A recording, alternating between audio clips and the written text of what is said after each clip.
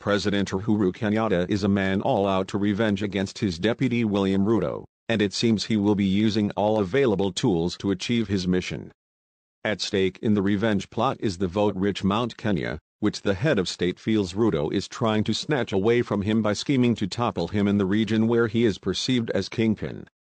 The meeting held at State House, attended by 3,000 elders on Saturday, will be the first onslaught in the mission to dilute the influence of Ruto in the central region.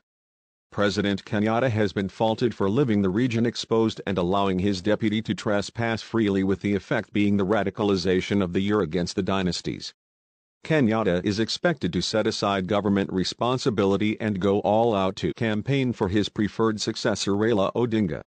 Also in few weeks, President Uhuru Kenyatta will arrange a meeting with women leaders in all Mount Kenya region as a tactic to ensure that the region is solely behind him. With the majority of votes in the country being the women electorates, the meeting is set to ensure that no group is left behind in the mission to catapult Odinga's presidential candidature. The Jubilee Party leader also bashed William Ruto and his own allies for engaging in hatred politics and going extra mile to insult his own mother, Ngina Kenyatta in the name of politics. In the elders' meeting, Kenyatta painted Ruto as bad leader not only for the region region but the whole nation. And it was opportune time for the community to know which communities they will unite with them.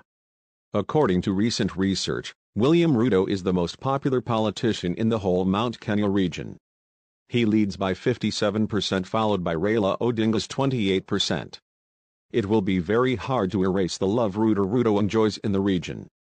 Thanks for watching kindly subscribe to this